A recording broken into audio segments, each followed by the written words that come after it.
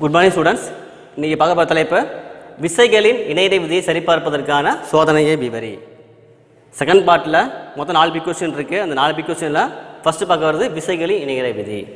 இங்கே அமைப்பு போட்டிருக்கேன் எப்போ பிக் கொஸ்டின் எழுதினாலும் அமைப்பு செயல்படும் விதம் அட்டவணை ரிசல்ட் இப்படி எதனா தான் மார்க் பிடிச்சி பிடிச்சி போட்டால் ஃபுல் மார்க் கிடைக்கும் உங்களுக்கு. ஃபஸ்ட்டு அமைப்பு பார்க்குறோம்.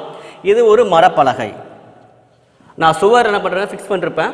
இந்த ரெண்டு கார்னர்லேயும் உனக்கு உராய்வற்ற நிலையில் இயங்கக்கூடிய ஒரு கப்பி அதாவது ஒரு சக்கரம் மாதிரி இருக்கும். சக்கரம் ஆட் பண்ணிருப்பேன்.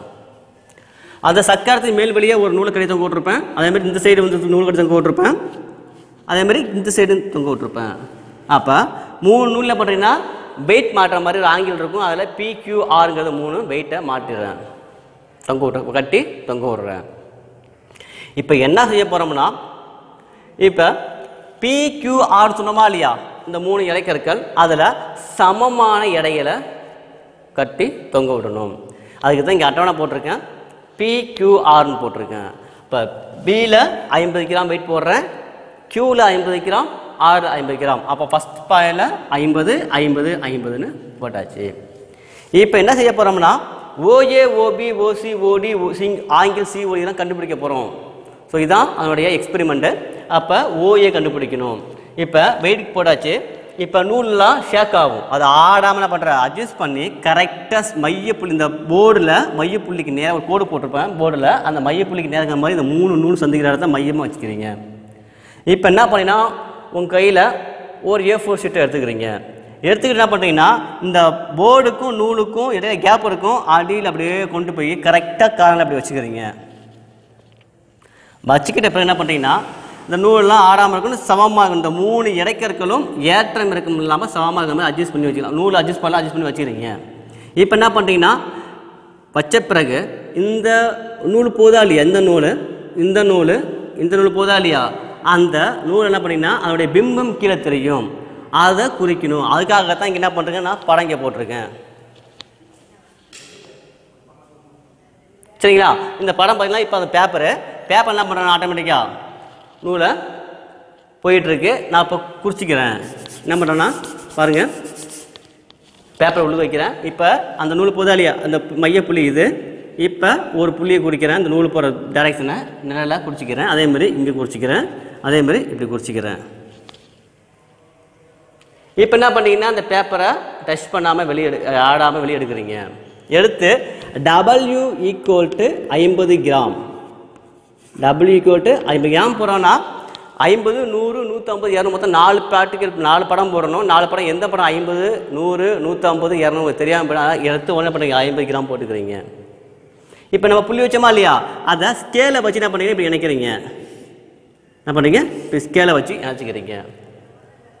இப்போ ஐம்பது கிராமுக்கு படம் போட்டாச்சு.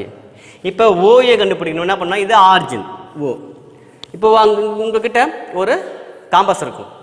அதில் ஐம்பது கிராமுக்கு என்ன பண்ணி ரெண்டு சென்டிமீட்டர் எடுத்துக்கிறீங்க. நான் சொன்ன- என்ன பண்ணுறீங்க ஐம்பது கிராமுக்கு ரெண்டு சென்டிமீட்டர் தொலைவை எடுத்துக்கிறீங்க. எடுத்துக்கிட்டு என்ன பண்ணீங்கன்னா இந்த மையம் இருக்கா இல்லையா? இந்த மையத்துலேருந்து இப்படி ஒரு ஆர்க் அடிக்கிறீங்க. அதே மாதிரி இங்கே அடிக்கிறீங்க.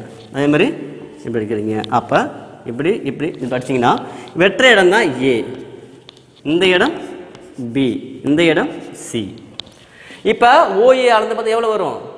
ரெண்டு சென்டிமீட்டர் தான் வரும். ஏன்னா நம்ம எடுத்துக்கிறது ரெண்டு சென்டிமீட்டர் தானே? இப்போ ரெண்டு சென்டிமீட்டர் வரும். அப்போ ரெண்டு சென்டிமீட்டர் ஓபி ரெண்டு. ஓசி இருந்தால் வரும் ரெண்டு. இங்கே பாருங்கள் ஃபார்முலா ஓசி ஈக்குவல் டு ஓடி அப்போ ஓசி எவ்வளோ இருந்துச்சு?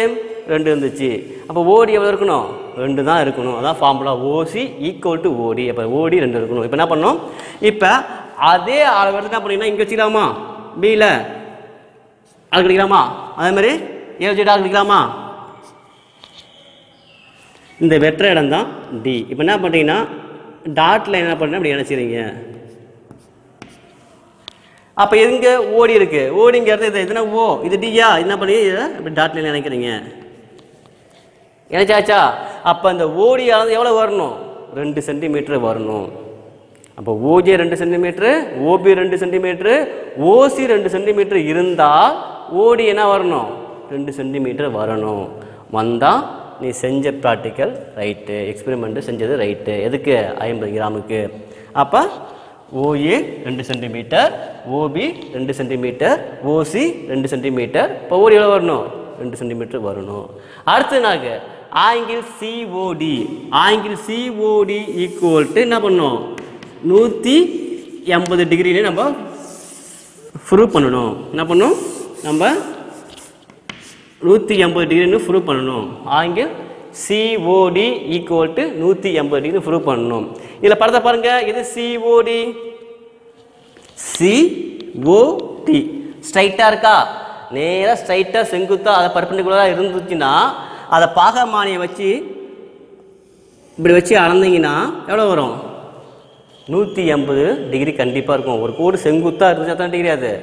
நூற்றி எண்பது டிகிரி இருக்கும் கரெக்டாக அப்போ கரெக்டாக அளந்து பார்த்தீங்கன்னா ஜீரோ பத்து இருபது முப்பது நாற்பது ஐம்பது நூறு நூற்றி ஐம்பது அறுபது நூற்றி எழுபது நூற்றி ஐம்பது இருக்கும். அப்போ கரெக்டாக எவ்வளோ வரணும்? நூற்றி எண்பது டிகிரி வந்துடும் இது ஐம்பது கிராமுக்கான எக்ஸ்பெரிமெண்ட்டு செஞ்சு முடிச்சாச்சு. செகண்ட் என்ன பண்ணலாம்?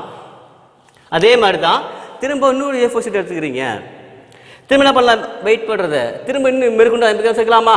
அப்போ இதில் ஐம்பது கிராம் மேற்கொண்டு சேர்க்குறீங்க க்யூவில் ஐம்பது கிராம் சேர்க்குறீங்க ஆறில் ஐம்பது கிராம் சேர்க்குறீங்க. அப்போ மொத்த வெயிட் எவ்வளோ வரும்? ஒன்று ஒன்றுலையும் நூறு நூறு நூறு நூறுமா? அப்போ செகண்டில் நூறு நூறு நூறு. இப்போ பேப்பர் உள்ளுக்கு வைக்கிறீங்க. அதே மாதிரி புள்ளி வைக்கிறீங்க. புள்ளி வச்சு குறிக்கிறீங்க. வெளியே எடுத்துறீங்க வெளியே எடுத்து என்ன பண்ணுறீங்க டபுள்யூ ஈக்குவல் டு நூறு கிராம்னு குறிச்சிக்கிறீங்க. இப்போ அதே மாதிரி என்ன பண்ணுறீங்க காம்பாஸ் எடுத்துக்கிறீங்க. அங்கே ஐம்பது கிராமுக்கு ரெண்டு சென்டிமீட்டர் எடுத்துக்கிட்டிங்களா? இங்கே என்ன பண்ணுறீங்க நூறு நூறு கிராமுக்கு? ஒன்று எக்ஸ்ட்ரா சேர்த்து எடுத்துங்க. மூணு சென்டிமீட்டர். அப்போ கொஞ்சம் படம் பெருசாக வரும். காம்பஸில் மூணு சென்டிமீட்டர் அளவு வந்து எடுத்துக்கங்க.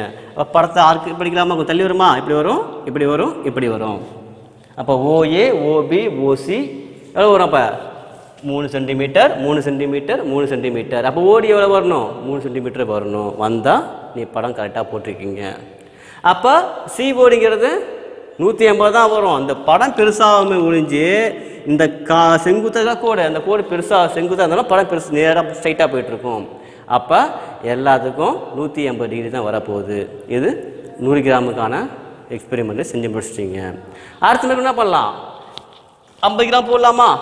இது சேர்க்கலாம் ஐம்பது கிராம். இது ஐம்பது சேர்க்கலாமா அப்போ மொத்த வெடி நூற்றி ஐம்பது. அப்போ பியில் நூற்றி ஐம்பது கியூவில் நூற்றி ஐம்பது ஆறு நூற்றி ஐம்பது. அப்போ இங்கே ஓ எவ்வளோ எடுத்துக்கிறீங்க ஃபஸ்ட்டு ஐம்பதுக்கு ரெண்டு எடுத்துக்கிட்டீங்க நூறுக்கு மூணு எடுத்துக்கிட்டீங்க இப்போ நூற்றி ஐம்பது எவ்வளோ எடுத்துக்கணும்? நாலு எடுத்துக்கணும். அப்போ நாலு நாலு நாலுன்னு செஞ்சீங்கன்னா ஓடி எவ்வளோ வரணும்? நாலு தான் வரும். படம் பெருசாக வரும் அவ்வளோதான் ஒழிஞ்சு இது ரெண்டு அடுத்து மூணு அடுத்து நாலு படம் பெருசாக வரும். அப்போ ஓடி நாலு சென்டிமீட்டர் வரும். இப்போ சி ஓடிங்கிறது நூற்றி ஐம்பது தான் வரும். சரிங்களா? அப்போ நூற்றம்பதுக்கு படம் செஞ்சு முடிச்சாச்சு. படம் போட்டு காமிச்சாச்சு. அடுத்து லாஸ்ட்டாக நாலு கொடுத்தா போதும். இரநூறு கிராம். அப்போ பியில் இரநூறு கிராம் கியூவில் இரநூறு கிராம் ஆறில் இரநூறு கிராம். அப்போ ஃபைனலாக இரநூறு இரநூறு கிராம் போட்டாச்சு. இப்போ என்ன பண்ணுங்க? லென்த் எடுத்துக்கிறீங்க. ஐம்பதுக்கு ரெண்டு நூறுக்கு மூணு சென்டிமீட்ரு நூற்றம்பதுக்கு நாலு சென்டிமீட்ரு அப்போ இரநூறுக்கு அஞ்சு சென்டிமீட்ரு அப்போ அஞ்சு சென்டிமீட்டர் என்ன பண்ணுறீங்க காம்பஸ் வச்சுக்கிட்டு ஆர்க் அடிக்கிறீங்க. படம் கொஞ்சம் பெருசாக வரும். அப்போ அளந்தா ஓஏ அஞ்சு ஓபி அஞ்சு ஓசி அஞ்சு வரும். அப்போ சிஓடி எவ்வளோ வரணும்? நூற்றி ஐம்பது வரும். ஓடி எவ்வளோ வரணும்? அஞ்சு வரணும். அளந்து பார்த்தீங்கன்னா படம் கரெக்டாக தெளிவாக நூல் ஆடாமல் ஷேக் ஆகாமல் காற்றுல ஷேக் ஆகாமல் கரெக்டாக படத்தை போட்டு கரெக்டாக எடுத்திங்கன்னா கரெக்டாக வரும். சரிங்களா? அப்போ இதுதான் ரிசல்ட் தான் ஃபார்முலா ஓசி ஈக்குவல் டு ஓடி அப்போ ஓசி எத்தனை இருக்கோ அதான் ஓடி இருக்கணும். ஆங்கிள் சி ஓடிங்கிறது கம்பல்சரி எல்லாத்துக்கும் அந்த கோடு செங்குத்தான கோடு செங்குத்தாக வந்துட்டுருக்கும். அப்போ நூற்றி ஐம்பது டிகிரி வரும். இதுதான் பிசைக்கலி இணைகிற விதியை சரிபார்ப்பதற்கான சோதனை. இப்போ ரொம்ப ரொம்ப ஈஸியாக இருக்கும். ப்ராக்டிக்கல் இருக்கு செய்யும்போது ஈஸியாக புரியும். அப்போ இது ஒரு மரப்பலகை. இது ரெண்டு கற்பி இருக்கும். இப்படி படத்தை போட்டு அமைப்பை போட்டு படத்தை போட்டு பாகம் குறித்து நீ பாருங்க ஆட்டோமேட்டிக்காக அடுத்த அட்டவணையை போட்டு நீ சொன்னதெல்லாம் அப்படி தியரி எழுதிங்கன்னா முடிஞ்சு போச்சு அவ்வளோதான் படிக்கணும் அவசியமே கிடையாது. இல்லை ரீடிங்ஸ் என்ட்ரி பண்ணக்கூடாது இதில் எக்ஸாமுக்கு தியரி எக்ஸாம் வரீங்களா இல்லையா? போர்ட் இப்போ போர்ட் எக்ஸாம் அதில் ரீடிங்ஸ் என்ட்ரி பண்ணக்கூடாது இப்படி எம்டி தான் இருக்கணும். சரிங்களா? இதே மாதிரி லேப் ஒன்று இருக்குது எக்ஸாம் இருக்குது லேபுக்கு லேபுக்கு வரும்போது தான் பண்ணணும்? ரீடிங்ஸ் என்ட்ரி பண்ணணும். இப்போ போனால் ஐம்பது ஐம்பது சொன்னால் இல்லையா? அது லேபில் செய்யும்போது உங்களுக்கு என்ட்ரி பண்ணணும். ஆனால் எக்ஸாமில் தியரி எழுதும்போது தான் பண்ணணும். ரீடிங்ஸ் எதுவும் என்ட்ரி பண்ணக்கூடாது. அப்போ ஓசி ஈக்குவல் டு ஓன்னு ப்ரூவ் பண்ணணும் first of second of angle COD equal to நூற்றி எண்பது டிகிரின்னு ப்ரூவ் பண்ணணும். செஞ்சு முடிச்சிங்கன்னா உங்களுக்கு ஃபுல் மார்க் கிடச்சிரும். சரிங்களா? இதுதான் விசைகளின் இணைகரை விதையை சரிபார்ப்பதற்கான சோதனையின் அமைப்பு. Experiment verification of parallelogram law of ஃபோர்ஸஸ்ன்னு சொல்லுவாங்க இங்கிலீஷ் ஆங்கிலத்தில். விசைகளின் இணைகரை விதையை சரிபார்ப்ப சோதனை அமைப்பு. சரிங்களா? இது பிக் கொஷின் ஒரு பிக் கொஷின் அடுத்த கிளாஸில் இன்னொரு பிக் கொஷினை பார்ப்போம்.